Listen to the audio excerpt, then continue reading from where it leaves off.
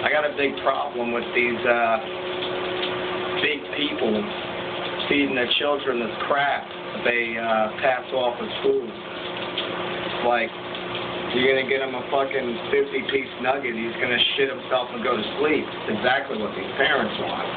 It's like, this fucking food comes from like a dog like diarrhea out of his mouth, and you're gonna feed your fucking children this shit because it comes with a little toy that you can, you know, fucking worthless toy he's just gonna break or shove up his ass or he's gonna lose. I mean, what the fuck are you trying to pull here?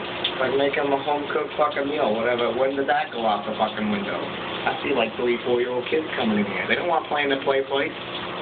They don't want fucking come out and do that shit. They're they're fucking hyped up on soda and caffeine. Like, ah! They're just like fucking nuts, man. Like, you, you think there's a problem with the kids? No, it's a problem with you and what you're feeding these fucking kids. Pumping them with soda, it's like, what happened to fucking Juicy Juice and Capri Sun? They don't sell that at McDonald's. They got orange juice, you don't want that. It's too healthy for them. Get them some fucking soda. Hype them up on soda. All this bullshit. Give them a fucking triple burger. Give them that. Yeah, that sounds awesome. So mommy or daddy doesn't have to cook at home to make him a fucking nice, nice three-course meal. You're gonna give him a fucking half-ass meal that, you know, here, here's a big sign, okay? Like, you walk in there, and you're like, yeah, this is what I want. They're already fucking putting it on your tray. Like, that's how easy it is.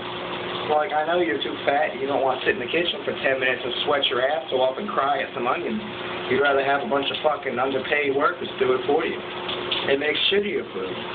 Like, if it's not what you wanted, then why don't you fucking make it yourself? Go home. I guarantee you can make a fucking healthier burger for yourself for your little kid. Kid doesn't need to be eating burgers that young anyway. Make him some fucking real food. Jesus Christ. Get him some fucking chicken Alfredo or some shit. I love that shit as a kid. I'll fucking eat it any day of the week.